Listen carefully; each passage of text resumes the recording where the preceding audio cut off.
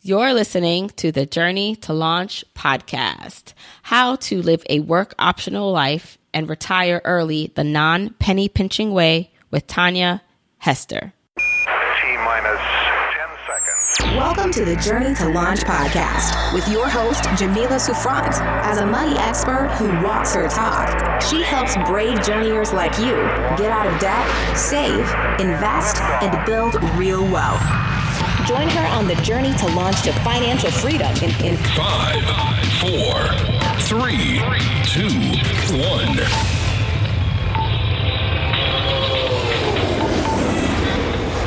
Hey, hey, hey, journeyers. Welcome to the Journey to Launch podcast. If you are new to the podcast, sit back, buckle up. You're in for a treat. If you are a returning journeyer, welcome. Thanks for coming back.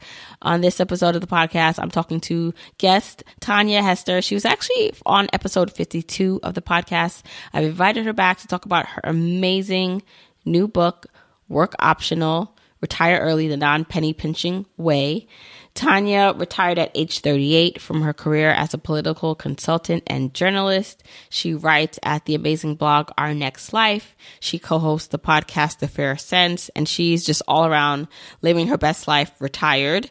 And I thought it would be perfect to bring Tanja back on the podcast to talk about the subject we all like talking about the most financial independence. But Tanja frames it in a way which makes it more accessible, I believe, to people who maybe are not looking to full out retire early. Now, if that's your goal, that's fine. But I love the way Tanja frames the thought process of what early retirement is in her book.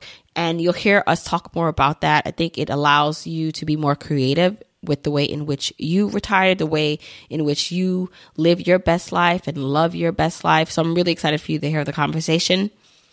Tanja actually is someone I met at FinCon. So I always talk about FinCon, the personal finance conference that I went to for the first time a couple years ago.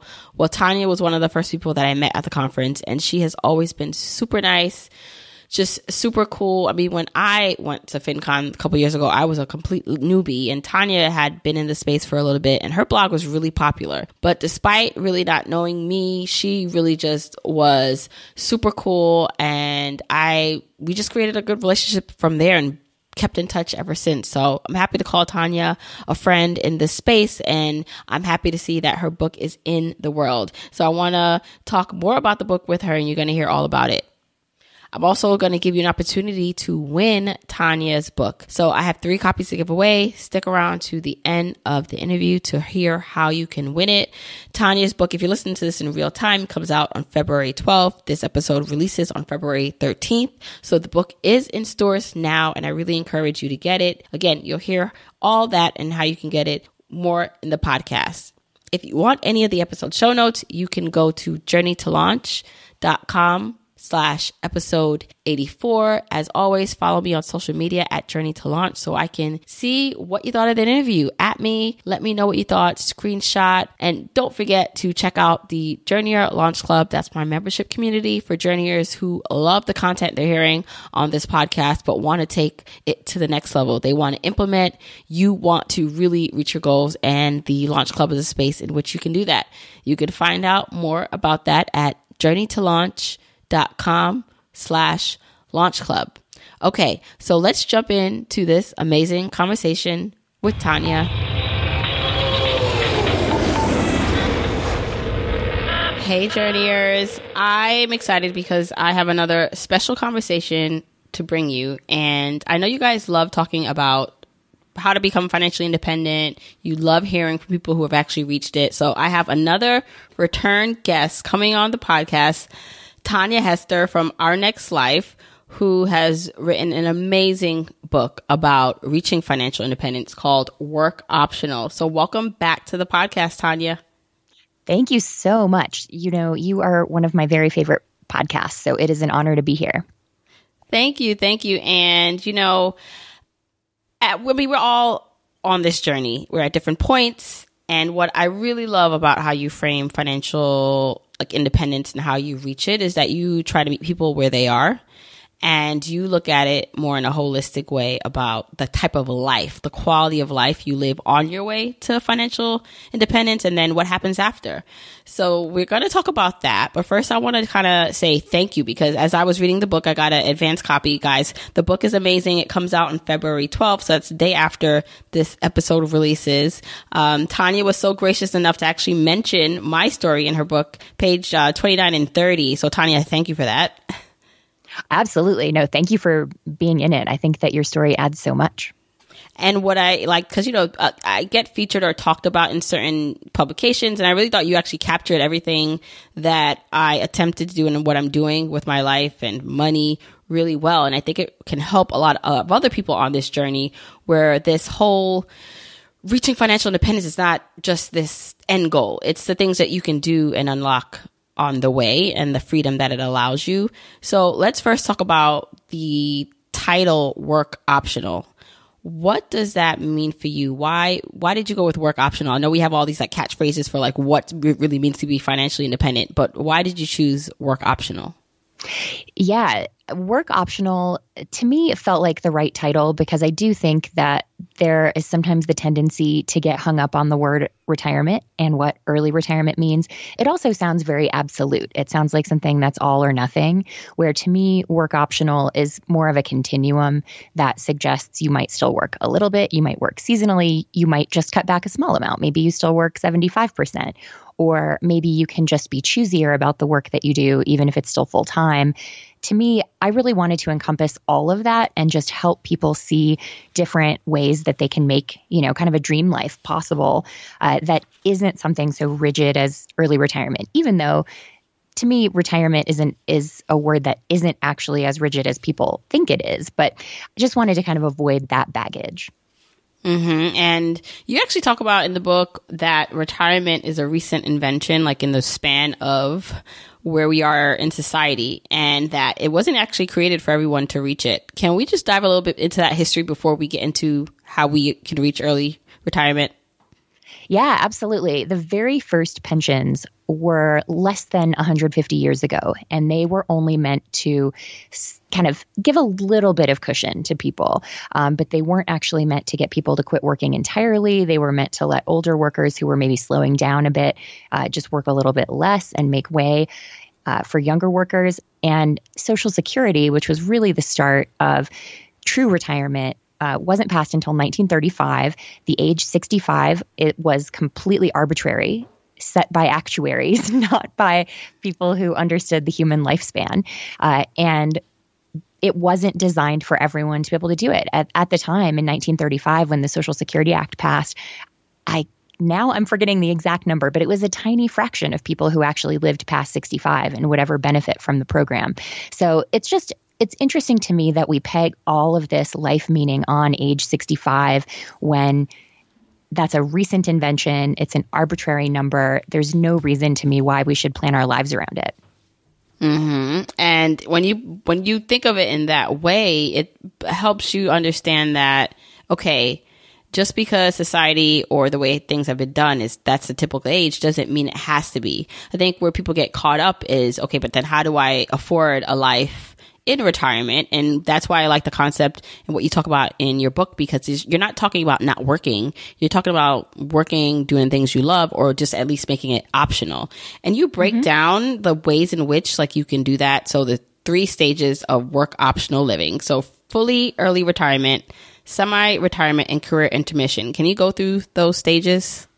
Absolutely. So, full early retirement is really what I think most people think of as early retirement. You can quit working entirely. Maybe you still have some hobbies or something that pay a little bit, but you never need to work again. Uh, that is what Mark uh, my husband and I aimed for, and what we were able to accomplish a bit over a year ago.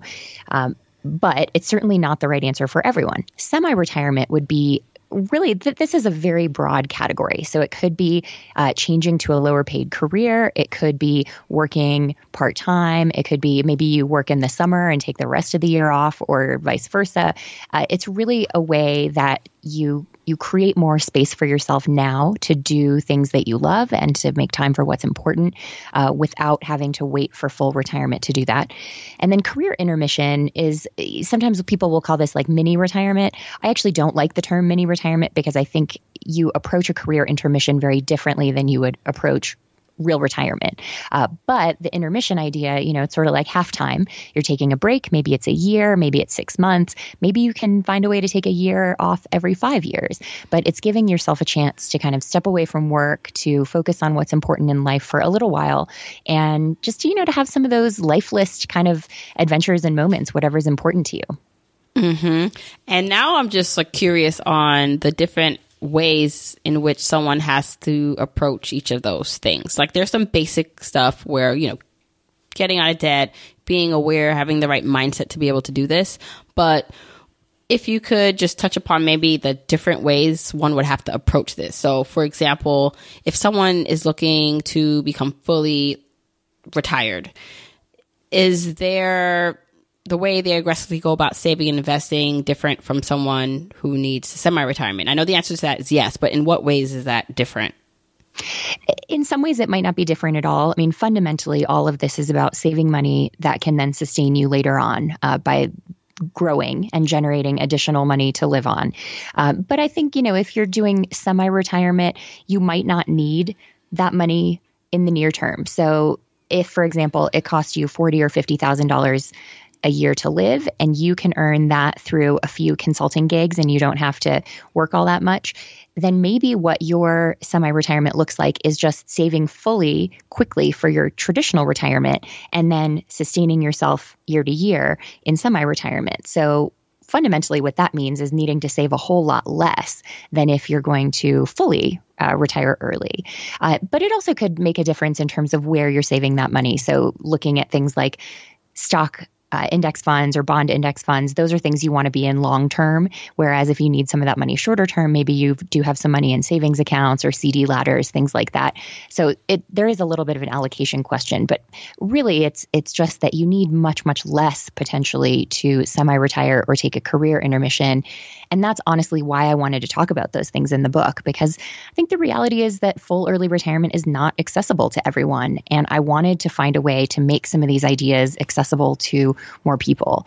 Folks who are earning minimum wage you know i think we we have to recognize the realities of our economy and that if you're earning minimum wage right now it's probably not going to happen full early retirement but I do also talk about ways you can think about earning more so that maybe it would become possible. But I just really wanted to, to make some version of early retirement something that people could achieve.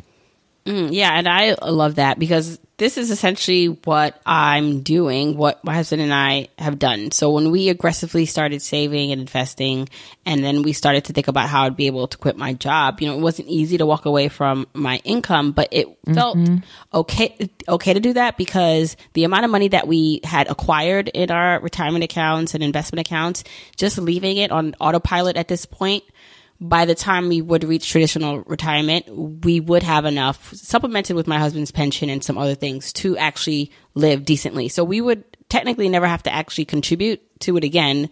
Um, and then by the time we reach traditional retirement, we'd be okay. Now that's not to say that we don't want to contribute to it again. My goal is to start ag- aggressively investing once we can, but it allows me to then take this leap and take this break because we haven't been contributing to much of our retirement accounts while I'm on this maybe semi-retirement or career intermission mm-hmm. you know so and i and i and so many people want to at least do this because while now i'm on this break i am doing work that i love that hopefully will will will, will push me forward faster maybe on this journey or not. It's fine if it doesn't.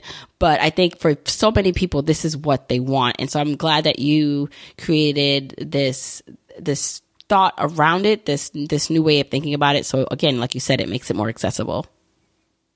Yeah, and and first off, high five for being so well set for your traditional retirement. That that alone is a huge accomplishment and I think we don't celebrate that enough. Right, right. And so we're going to talk more about how people listening, how journeyers can set themselves up to do this too. Um, one of the things that you mentioned, so just let's talk about how much money people need, you we have this typical calculation that goes around in the fire community. Twenty five times your annual expenses is the roundabout number that you need to save up, and so you have like made a little adjustment, which I actually like. It's more conservative. You have it's thirty times your annual expense plus a 10% contingency. Can you talk about like why you chose to even be more conservative and actually what those numbers mean? Yeah, for sure. I'm I'm sure that most of your listeners are familiar with the 4% rule, the idea that if you have a starting portfolio, you can withdraw 4% each year and have a reasonably good chance of not running out of money. It's actually a little more complicated than that. You only adjust it by the consumer uh, price index, not by inflation, but I spent a lot of time looking at research, and a lot of this I'm really indebted to Karsten Jeske, who writes Early Retirement Now. He is an incredible economist who's done some fantastic breakdowns of numbers and analyses of the early retirement math. And his math shows that if you go down to three and a half percent, instead of 4% withdrawal that that makes a huge difference in terms of your likelihood of not running out of money later in life so that was really the driver behind this is I don't want to guide anyone down this primrose path of look, you can have your freedom, but also you might run out of money when you're 80 and you can't do anything about it. I have no interest in coaching anyone to do that. So 30 times your annual expenses gets you more to that three and a and a third to three and a half percent safe withdrawal rate, which is definitely safer statistically. And then the 10% contingency is really there for a couple of things, but the main thing is healthcare. Uh, we are in a time of just massively uncertain healthcare. We sh- we have the Affordable Care Act, the ACA, sometimes called Obamacare. Uh, so it is a far better time to be an early retiree than it was before that passed. But we also recognize it's so politically charged, it could go away at any time. And if that happens, healthcare, health insurance could just get massively more expensive. The other thing, too, is most people dramatically underestimate how much Medicare uh, will end up costing them. Uh, Medicare only covers 60 to 70% of your expenses. So most seniors who are on Medicare still have hefty out of pocket medical expenses. So the 10% contingency, it can cover a lot of things, but that's really why it's there, is just to insulate against f- future healthcare uh, cost increases. And I'm so glad you brought up healthcare because this is the number one not number one, but it's a high up reason for a lot of people to be afraid to pull the trick on early retirement or even just leave a job that they're not happy with. It's what do I do about my insurance? And the it's so complicated, even for me. And, you know, I am lucky that I have a husband that works, so we can all be under his insurance and he has a good plan. But for a lot of people, they don't have that situation. Or if there's a couple that both want to retire early, or there's a single person thinking about retiring early, let's dive a little bit deeper into this healthcare topic, and I'd love for you to share just um, some facts around it, some ways in which people can insure themselves while they're not working traditionally. And you, I mean, you're you were you did a lot of work in this field when you were working, so I'd love to hear your thoughts on it. Yeah, healthcare is so, so critically important. And I think such a scary topic for a ton of people, but certainly people who are looking at walking away from traditional employment. And that was for sure true for us. My husband, Mark, has an autoimmune disease. I have a genetic disorder. Uh, we are people who have pre existing conditions and need to be covered. Uh, and so this was always important. And yeah, I did some health policy communications during my career. So I, I got some of the behind the scenes info but the main thing is just to know that the Affordable Care Act, as it currently stands, which it's you know it's in the courts it has technically been struck down. We don't know what's going to happen with all of that. Uh, but it does guarantee that everyone can buy health insurance and that you can't be discriminated against for pre existing conditions. However, you can be forced to pay higher rates because of your age. So, this is something that I think a lot of folks are not factoring in. You can estimate what it will cost you anytime by going to healthcare.gov or to your state exchange site, and you can look at shop for plans or compare plans, uh, some description like that, and then put in what you expect your retirement income to be. And remember, things like stocks, if you sell, let's say, $1,000 of shares, that's not going to be $1,000 in income. Only the capital gains, the amount it's increased in value, counts as income. So, thinking about it that way, looking at what you expect your income to be, you can estimate what your health insurance costs will be currently, which is super helpful for planning and budgeting. But then you have to remember that there are these points generally around each decade. So, uh, my first year of early retirement, I was 38 and Mark was 41. And so our average age was under 40 uh, for our household insurance. And so our rate was one thing. And then this year, for the same plan, the price difference was $400 a month because we went up to 39 and 42 which that is now an average above 40. So that's something that people need to factor in that your rates do go up. And by law, people over 50 can be charged double what those under 50 can be caught can be charged. So it's just good to know that your healthcare costs are going to keep going up. Right now, on average, for everyone, healthcare costs are going up about three times the rate of inflation, which again is why I think 30 times your expenses plus a 10% contingency is really wise. Uh, so it shouldn't scare you. There are a lot of good resources. I talk in the book about your different options, whether it's traditional insurance, whether you want to have a high deductible plan with a health savings account, an HSA or not, uh, things like uh, health shares, the the kind of religious option, uh, which I actually don't recommend, but I know some folks like them. So there are there are different ways that you can make it work, and I do want everyone to know, you know, you've got options as an early retiree, but it's good to be really clear eyed about the costs involved. Mm-hmm. And to do definitely your research, and it's something I want to dive into on a separate like episode, just more into this topic because it is something that is so important to understand because it is such a big cost. And you talk about the two biggest costs in retirement that you do need to just make sure you understand are healthcare and then shelter, um, living because those are your highest expenses. Where you live or how much it costs, and then like if in terms of like a mortgage or rent and healthcare. So let's talk a little bit about the living expenses side of things and how one can start thinking about that and optimize that in a way in which they can feel like re- early retirement or a work optional life can be for them.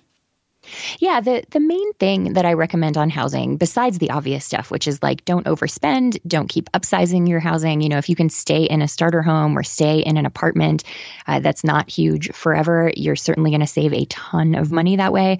But the biggest thing that I think folks need to think about is is planning kind of for each chapter of life. So maybe you're going to do one living situation in early retirement and then in the early portion of your traditional retirement you do something else, but don't forget about old you, you know, about those later years in life. Uh, you know, I see people retiring to live in an RV or to retire to a tiny home or to do some really non traditional living arrangements or people who are just permanent nomads and travel the world, uh, which for sure the appeal of that lifestyle is obvious. The thing that's important though is to make sure that you have an option to get off the road or you know to make yourself more permanent. Because are you really going to be climbing up and down a ladder to your bed in a tiny house when you're 75 are you really uh, going to be able to have an in-home nurse come to your uh, rv those are things that are important and particularly because if the rules do not change what's important to know is medicare covers almost no nursing home care, but they do cover in home care at a pretty good level. So, being in a living situation in which you can age in place gives you a huge head start financially on a lot of folks. Because if you know that your living situation could be wheelchair accessible, uh, you could modify the bath or shower so that you can still use it if you couldn't walk, uh, that you have wide enough doorways that you could have a hospital bed in the home if, if necessary. Those are things that seem small and insignificant and are hard to think about when you're 30 or 40 or whenever you're listening to this and planning those things. But the main thing is you don't have to have all those answers now. You just have to make sure that you've thought about that, that you know you're going to have money to give yourself flexibility later in life to be in a living situation that can accommodate you, whatever that looks like. Mm, such great, great, um, like thinking points. Um, and you know, so in terms of planning for the long term. You talk about in the book and just in your content overall that you basically you when you guys were saving you you guys made a really like good income together but you saved and you were aggressively saving and even with the thought that you could actually kind of loosen up and live a little bit more not abundantly but you can spend a little bit more in your later like in your later retirement in your traditional retirement. And I actually like that concept because i find that some people when they are thinking about early retirement and they're being super frugal they're expecting that they're going to spend maybe only 20 30000 dollars a year forever. And again if that's what's going to work for you that's that's great. But i know for like myself i actually don't want to be so budgety and like when I am 65 or when I'm 55, when the kids are gone, because you know, we have three kids, right? So when my husband and I finally get our lives back, if that ever happens, like I want to be able to go to restaurants um, more often, you know, but have the money to do that. And so I like that you, you thought about it in the case and the way we're thinking about it is, okay, yes, we, we can be a little frugal now because we're trying to actually set ourselves up so we don't have to be as frugal or, you know, as penny pinching. Not that we are super penny pinching at, in the future. Do you know what I mean? Oh, totally. And and I really highly recommend that people think about this approach that instead of just saving one big pool of money for early retirement or semi-retirement or whichever model you're going for, that you think of early retirement and traditional retirement as separate and you save for them accordingly. And I do really recommend creating a a plan in which you have more to spend in your later years. One because of healthcare, as we just talked about, it's so unpredictable. None of us know what's going to happen. You want a big cushion. But yeah, like you just said, when I'm 70, am I going to want to clean my house by myself? Mm-hmm. Uh, or like do, like, I can't imagine putting Mark up on the roof to, you know, do roof repairs when we're 80.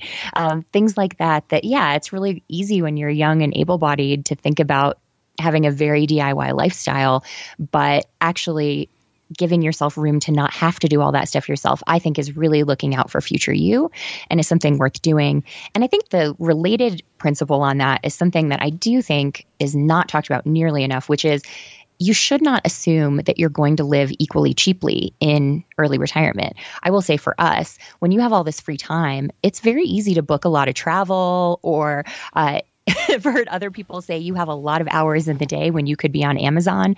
Uh, mm-hmm. Like it is it is kind of the doctrine of retirement that you're going to spend less after you leave your career.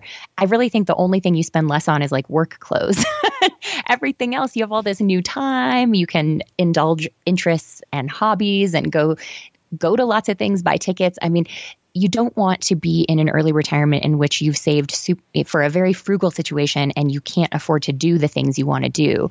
So that's why I recommend in the book that people actually look at two different numbers of what can you live on right now while you're saving, and then what will you live on once you're early retired, and then maybe a third number of do you want that number to be even bigger in traditional retirement?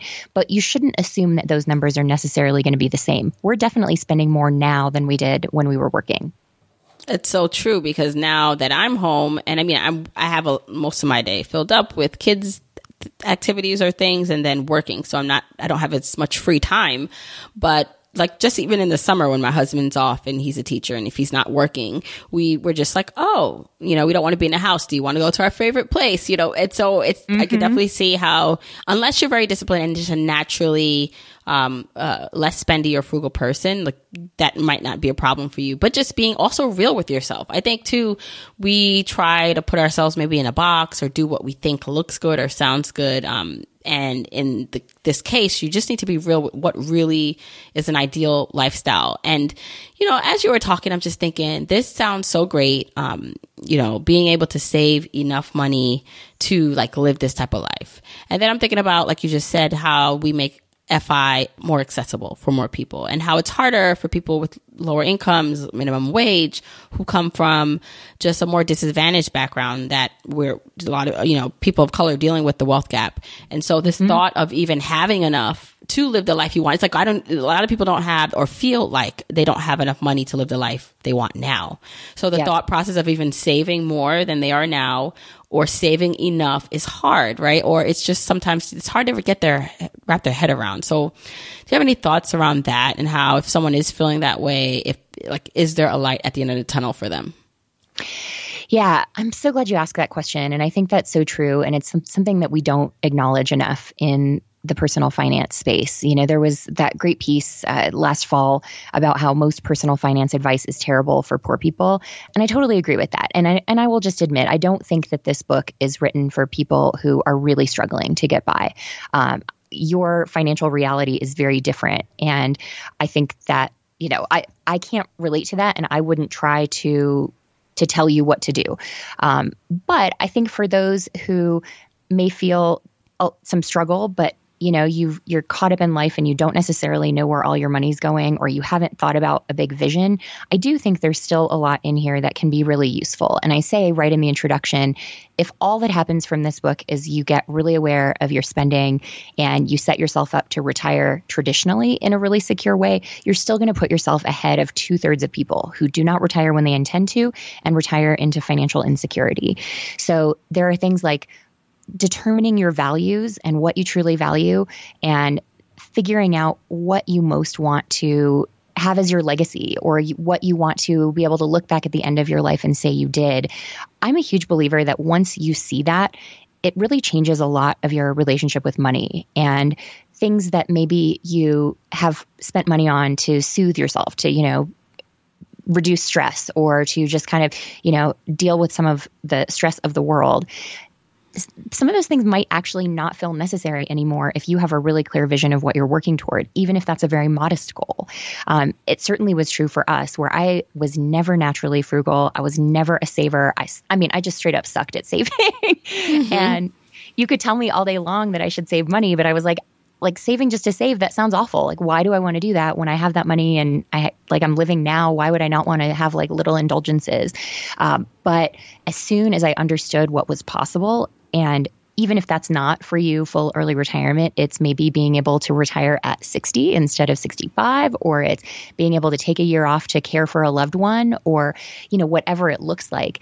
Um, once you have that vision, I think that your motivation totally changes. And so I think all of that is really not fully universal, but I think pretty close to universal.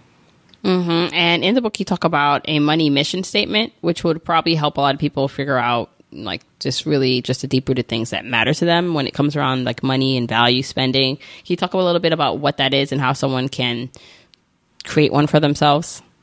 Yeah, absolutely. So the money mission statement to me is just sort of like an internal statement that you carry around with you that helps you to guide your decision making process. It reminds you what you're doing all of this for, what the purpose of your money is, and it I, I think is just really uh, an important thing that help that keeps you going in a journey like this that takes multiple years of saving. The example that I use is if you're a vegetarian and someone asks you, "Do you want a burger?" you don't have to stop and think about it because you know like, "Okay, no, I just I don't eat that." There's something in the money mission statement that's similar that just makes some of these decisions automatic because if we rely on willpower all the time to prevent us from buying impulse purchases at the store or you know just kind of going off the rails with spending we we have a very limited supply of willpower and we will run out of it quickly. So the goal is to try to automate some of that decision making and just make it not even a question for yourself like the vegetarian turning down a burger. And to me kind of doing that when when we were going through that journey i didn't exactly call it my money mission statement but looking back i realized that that was kind of the thought process i set up for myself of like nope i don't spend on that. Nope i don't spend on that. It just had whole categories that i didn't even have to think about. That was for me so transformative that i wanted to kind of put a process around it to help people create their own. Mm-hmm. and uh, this probably also then ties into this this concept that you talk about in the book and trips a lot of people up in this like constant wanting more and trying to like buy things to create happiness is the hedonic adaptation. Did I say that right? Yep, you did. okay. I was like, wait, is that how you say it? Okay. The hedonic adaptation. Can you talk a little bit about that? Because that, that constant search for happiness and looking for it outside of ourselves creates this like consumerism environment, which then we just are on this kind of hamster wheel of wanting more. So let's break down what it is and how we cannot fall into it. Yeah, absolutely. And this is a well researched psychological concept, not something that I invented. But the idea behind hedonic adaptation and what people will sometimes refer to as the hedonic treadmill is that we all have a basic kind of baseline of happiness, and that you might have things happen that bring you temporarily above it or temporarily below it. And often we think of purchases as being associated with, you know, like that dopamine rush, and we feel happy to have this thing. But that very quickly we come back to that baseline level. So the idea is that purchases we think are going to make us happier only make us happier for a very short time and then we end up coming back. But we're now poorer for having spent that money. So you might think okay well i'm going to get this new car and that's going to make me happy. And it probably will for a little while but then before long you won't be any happier driving that new car than you were driving your old car. I mean obviously if your old car was a piece of crap and it was frustrating you every day that's a different thing. But assuming it was perfectly functional um, the new car will not ultimately make you happier. I mean, I think we can all think of little examples that are exceptions to that, sort of the Marie Kondo uh, spark joy idea. We all have things that we value above other things. So it's not to say that no purchase is ever worthwhile, but it's just to try to get us to rethink how we might be spending or what we might be, be using things like shopping uh, for. If it's just looking for that short term rush and recognizing, like, okay, that's not long term happiness, and looking at our possessions and our purchases that way to help us uh, stop that if, if that's something that you in particular do. It for sure was for me. You know, I always loved getting certain new things and being able to take that step back and see like okay you know that felt good in the moment or it felt good for a week while i had it and then ultimately you know it was like i had never gotten it in the first place um, knowing that about yourself is just a good way to help rein in some of that problem spending Mm-hmm. And now I'm just curious because you said you weren't super frugal, and now you actually like kind of learned to like save more. But what are you spending more of now in retirement that you didn't spend working? Because you did say you were spending more nowadays than you did in your working life. So now I'm just like nosy. What what are you spending your money on? um, some of the little things are uh, hair color. I have purple hair now. Mm-hmm. when I was working, I always had, you know, very consultant appropriate brown hair. And uh, it is shockingly hard to keep up bright hair color uh, for what it's worth. and getting your hair bleached at the salon, oh my goodness, that is an ordeal um, financially. But no, the main thing that we are spending more money on is travel. Uh, in the last year, we went to Taiwan, Mexico, France, and Monaco. And those were great. You know, that was a big motivation for us to retire early was to have more time to travel and to be able to take longer trips than we ever could when we were working. But that stuff's not free. Uh, we have a lot of travel points. We cut the cost that way, but it's still, you know, doing four countries in a year, that stuff adds up. And I mean, that we have no plans of slowing down on that front. So we anticipate travel spending to continue to be much higher than it was when we were working. Mm-hmm. And I'm assuming too, you're not doing like the back backpack style staying in hostels. I mean, you probably are sometimes, but just considering because a lot of times people think, well, you know, I can really rough it and like get you know travel like I was in college or like on, really on a dime, which is fine if that's what you like. But, you know, I know like my husband, like he's not really into all that. Like he wants to stay in a nicer place. And so when I think about our travel budget, we haven't been traveling lately because of the kids. I'm trying to be realistic and like you're doing, okay, we're going to have some points, but let's realistically think where we're going to both want to stay that's going to satisfy both our like wants and needs. Yeah, we we actually do a mix. So okay. in in Taiwan, for example, we we did stay in a couple of nice places that were just really cheap because Taiwan is a very inexpensive place to travel. But you know, when we were in Taipei, the largest city, we could have stayed at the Marriott and it was like $200 a night or a whole bunch of points. But instead, we found a local hotel that had the most itty bitty room, uh, like the bed pushed up against one wall and then about six inches on the side of the bed. Uh, and that was, I think, $40 a night. So we definitely are game to do that. I'm traveling in March and staying in a hostel in Portland for a conference. So we're game to do that stuff. But I think to your point from earlier, I have no intention of staying in a bunk bed when I'm 65 mm-hmm. or like getting into a hotel room where we both can barely fit uh, when we're when we're 70. So that's part of it too for us is like I want the budget to stay in proper hotel rooms when we're older. And uh, I mean, like yeah, in Taiwan we had some rooms where the bathroom was down the hall. Um, like that's fine now, but I don't always want to do that. Right, right. Now, one of the things you did briefly mention earlier, and I want to touch upon it is that you have a genetic disability that, you know, you could talk more about what exactly it is. But when I was reading it, and I knew this about your story before, and how this genetic disability that will uh, most likely impact your life in the future really caused you to look at what you wanted to do with your life and look at how you wanted to live. And it made you make the decision that, okay, I want to be more in control with how I work, how I earn money, and you just pushed you to retire or want to retire early. And you know how so many of us, like, we have these hypothetical things that occur or people ask these questions. If you only had 24 hours left to live, if you only had, you know, if you knew you at 65 something would happen, what would you do differently? And then we come up with these ideas and ways in which we would just live our best lives. Um, you almost seem to like have been able to do that because it's a reality for you. Can you talk a little bit about like what what finding out um like how you're managing having this genetic disability and how it really pushed you to want more from your life? Mhm. Yeah, my dad has the same thing that I have. We have uh, hypermobile Ehlers-Danlos syndrome (HEDS), which is a genetic connective tissue disease that causes a whole ton, a whole slew of things throughout your body. Uh, but the the biggest thing in terms of long term health is uh, joint pain and uh, just kind of like chronic chronic pain. Uh, my dad has a very particular neurological manifestation of it that fortunately it looks like I'm not going to get.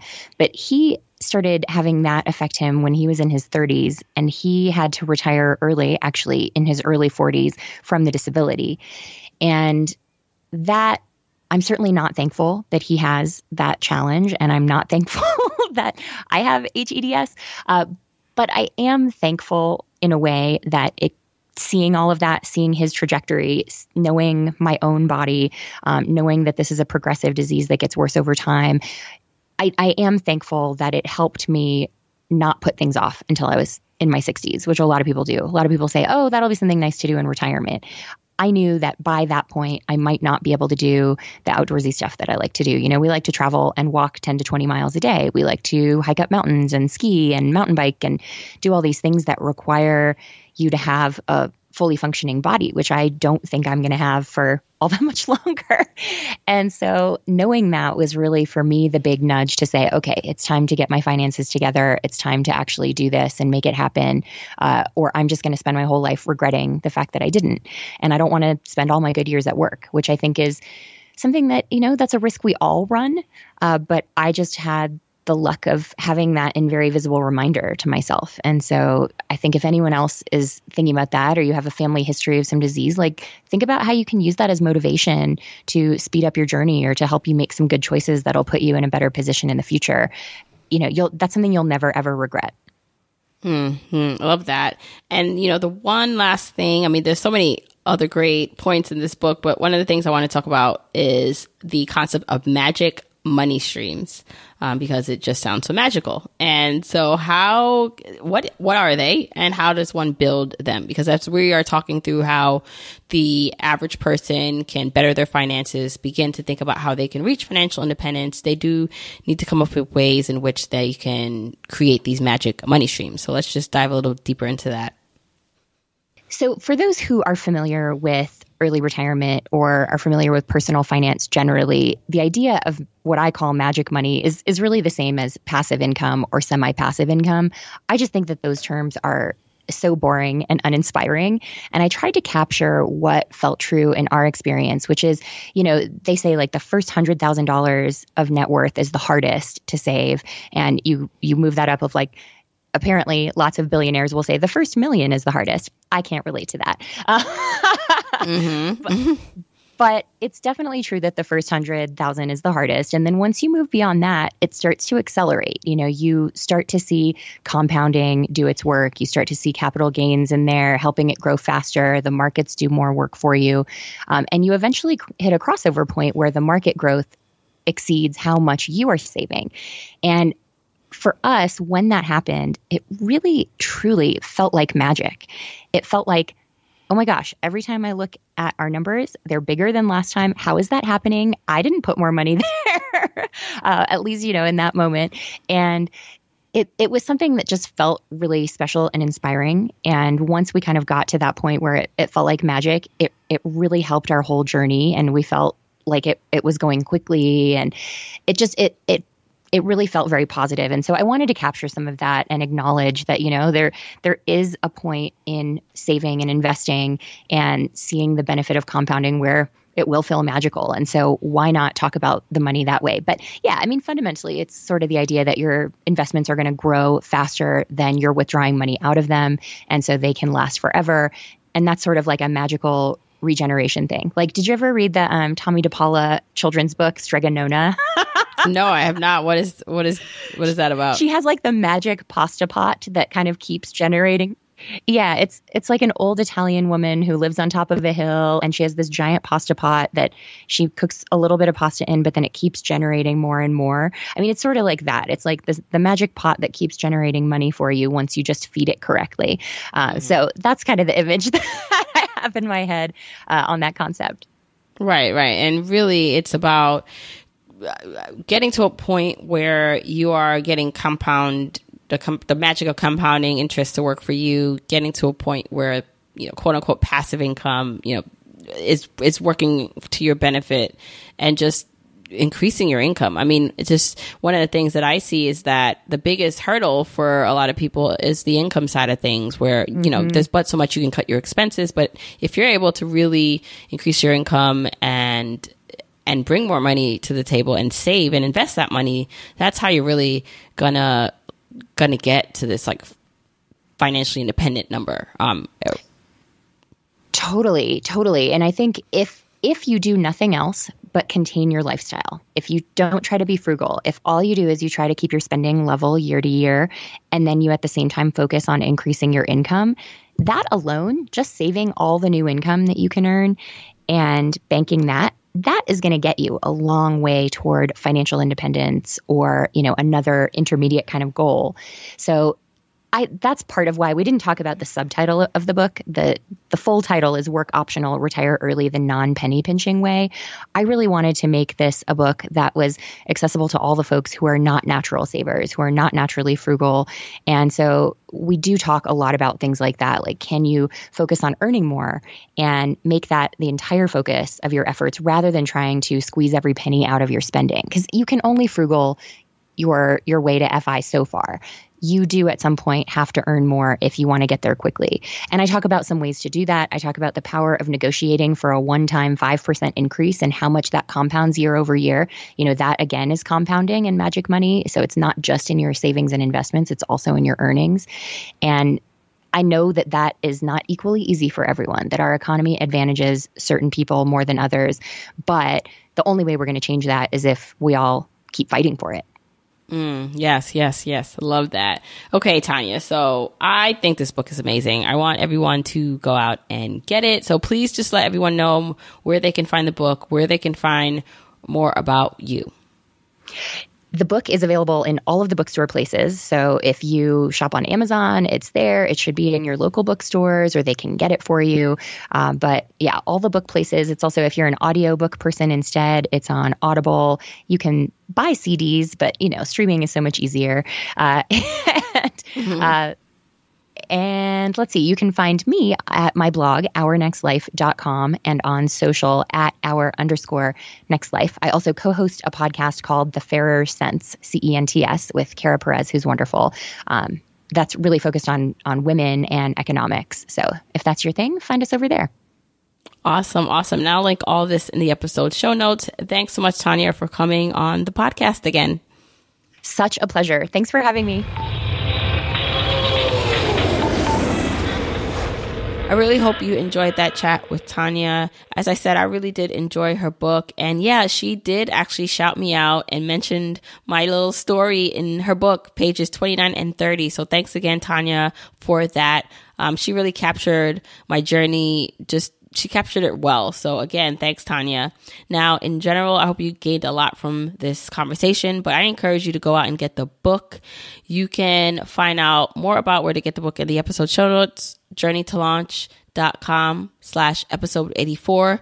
Tanja and her publisher were nice enough to give me a few copies to give away. And so here's what I'm going to do. I am giving away one copy of the work optional book to a podcast listener. I'm giving away two other copies to members of the Journeyer Launch Club. So, Launch Club members, you don't have to enter this way. You'll find out how to win in the Launch Club.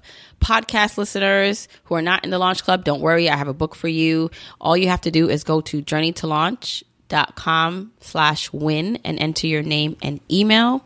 Then the other thing I'd like to know is what you learned from this episode. Let me know what stood out, and you can do that by tagging me at Journey to Launch on Instagram, Twitter, or Facebook. So share something that you took away from this episode. You can even just comment on the episode promotion that I usually put out every Wednesday morning on my Instagram. So really it's just going to journeytolaunch.com slash win enter your name and email and then tagging me letting me know on social media in some way what you learned from this episode or why you're looking forward to reading this book. Once again i want to thank you for joining me on this episode of the podcast you can always follow me at Journey to Launch. If you want to hear more, follow me more on my journey to see what's going on with Journey to Launch. And then don't forget the Launch Club. You can find out how to join us in this membership community, this space which will encourage you to reach your financial goals, to live your best life at journeytolaunch.com slash launch club. Okay, until next week, keep on journeying, journeyers.